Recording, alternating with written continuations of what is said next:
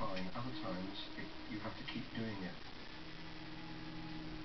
I just hope that this will do in one go, and even if we give her a few hours of her stopping rubbing her eyes, it might make a hell of a difference. Okay. It'll be a couple of weeks before the team know whether the procedure has been successful. But so far, it's all gone well. Meanwhile, over at Hananya's enclosure, the chimps there are about to have a sticky surprise.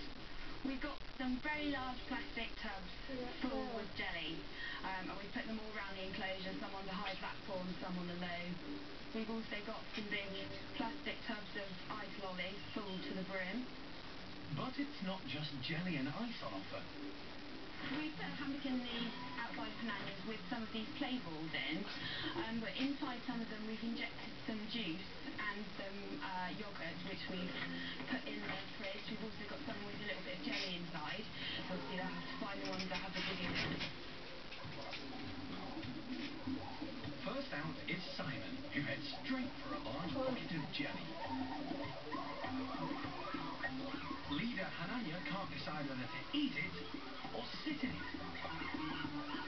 But it's his stomach that wins the day.